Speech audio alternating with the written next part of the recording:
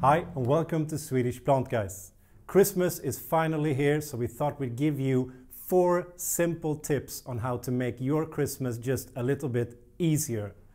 And those tips are concerning the poinsettia, the amaryllis pot flower, the amaryllis cut flower, and of course your Christmas tree. Now, if you haven't subscribed to our channel yet, please do and hit the bell as well so you get a notification every time we put up something new.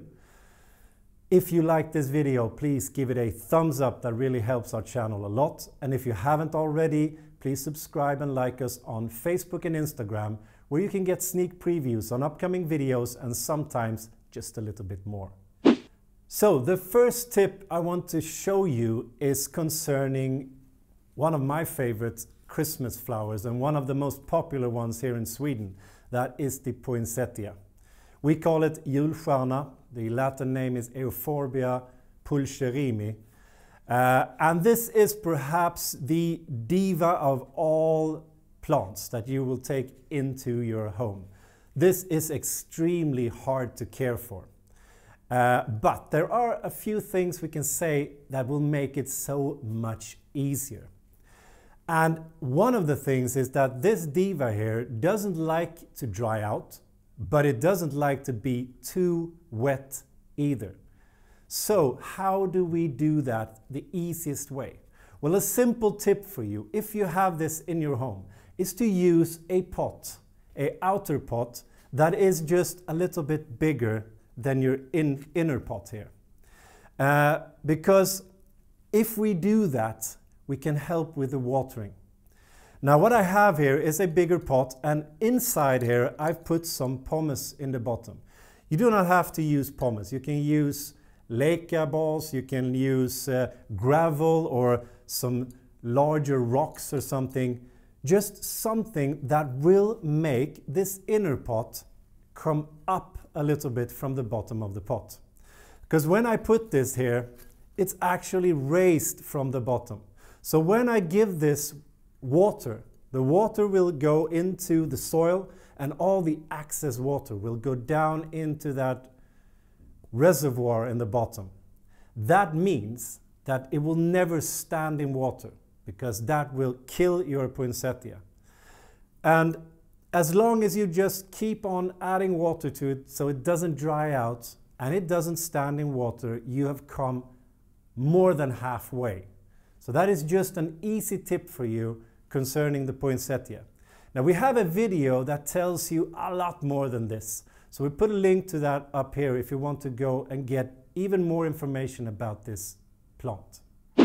So tip number two, and that is concerning the amaryllis. Uh, and this is my absolute favorite of all Christmas flowers.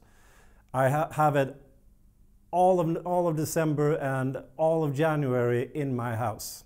Now you can buy this in two ways. You can buy it like this as a bulb plant. And uh, there is a big misconception about this plant. Uh, and we get this question a lot. And that is, how do I keep the stem from getting to be very, very long? And usually when it gets that long, it snaps, it breaks, or the pot falls. It gets too heavy. So how do I get the stem to become shorter? And a big misconception about this is that it has to do with quality. It has nothing to do with quality. If you buy a high quality bulb plant, it means that it will give you more than one stem. This one will actually produce three stems. And also, a good quality will also, when it opens up, it will give you more flowers. Now a low quality perhaps only gives you two, two or three flowers on every bud here, but a high quality will give you four or more. So it doesn't have to do with that. So my tip for you is that when you get this to your house, make sure to place this in a very light spot. Place it on a windowsill, give it a lot of light, and give it a little bit of water. Because if you place this in a dark spot and give it a lot of water, what will happen is that it will actually grow, grow, grow and try to reach for the light. But if you give it a lot of light and just a little bit of water, it will stay short, stubby, and you will get that big, lush crown without it tipping over. Now, if you want to know more about this bulb plant, we have a video you can go and watch where we tell you everything you need to know about this. So, tip number three is also concerning the amaryllis, but it is the amaryllis as a cut flower like this. Now, in a cut flower, you really want it to be really, really big and long like this. Uh, and when you buy this, normal people just buy it and put it in a vase. But we're not normal people. So we're going to take this instead and hang it upside down like this. And you can hang it in, in your windows and detach it to your curtain rods. And then it will look like this. I've just used, you can use any form of ribbon for this. You could even use a fishing line if you want to. But just attach that to your curtain rod and hang it in the window.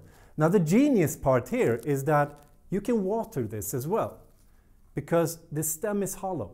So you can pour water in the hollow stem and just fill that up. Make sure that it has water all the time and this will go out and flower for a long period of time. So it works perfectly for you. And you have something really, really nice in your windows. Now, if you want to know more about the cut flower amaryllis, and if you want to see this step by step, how to do this, you can check our video out here because there we give you all the instructions you need. Now tip number four is concerning the Christmas tree. Now here in Sweden we have a lot of different types of Christmas trees. My personal favorite is called Kungsgran and it's the Abies nordmanniana. Uh, which I always use at home. But no matter which type of tree you use, I have a great, great tip for you. Here in Sweden, we take our Christmas trees and put them in water. They, they are cut off, um, taken inside and put them in water so that the needles won't fall off as quickly. Now I have a great tip there for you. What you need to do is that when you get your tree home, no matter which type of tree you have, just before you take that inside and put it where you want it in your home, you make a fresh cut. By that I mean, now this is obviously plastic, so I'm not going to saw this one, but if you want to see me doing this, we have a video for you that you can go and check out step by step how to take care of your Christmas tree. But basically, you just take a saw and you make a new cut at the bottom of the stem. Just take away half an inch, one centimeter approximately. When you've done that, you take your tree directly inside and you put it in water without harming it, without bumping that new fresh cut. Because what you want is to that cut to be fre as fresh as possible. You want all of those small water tubes that are going to transport the water up into the tree when the water is evaporating from the tree, you want them to be open. You want them to take as much water as you can. This will make sure that your tree won't lose the needles. They will stay on at least for as long as you want it to before you throw your Christmas tree out after Christmas. So these are the four tips for you in this video. Now, as I said, we have a video on each and every one of these plants or Christmas trees um, where we give you a ton of more information on how to take care of them to just make them thrive in your home. So go and check that out if you want to know more. Now, if you haven't subscribed to our channel yet, please do and hit the bell as well so you get a notification every time we put up something new. If you like this video, please give it a thumbs up. That really helps us a lot. And if you haven't already, like and subscribe on Instagram and Facebook where you can get sneak previews on upcoming videos and just sometimes a little bit more. Now, a big Merry Christmas to all of you and we'll see you in the next video. Until next time, hej då!